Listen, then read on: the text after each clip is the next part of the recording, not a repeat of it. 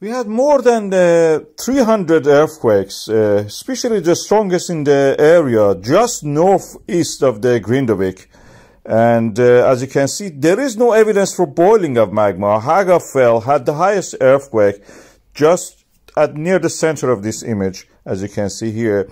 The interesting thing is that in the harmonic tremor chart, the tectonic uh, tremors are now back to normal. The chart is reversed practically.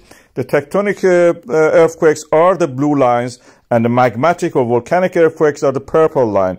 Purple line should be at the bottom for the volcano to erupt. And it had that question, uh, that situation in, in the Friday. And uh, now this is reversed.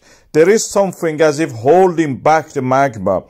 And uh, this uh, situation can be explained one way, and that is that probably there is something uh, less dense than the actual magma, which is uh, around 3.5, 3.2, uh, and that is sediments. Sedimentary rocks can be almost buoyant, can stay on the top of any heavy rock from the mantle, as the earth crust is like that also, and hold it down.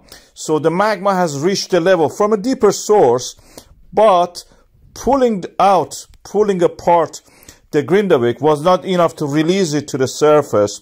Magma was at a very heavy depth, is yet 4 or 5 kilometer. It cannot rise because of the sediments holding it, trapping it in the earth crust, within the earth crust. With the help of the seismograms and the geophysical evidence, we can see that this is forming what we call in geological terms a laccolith.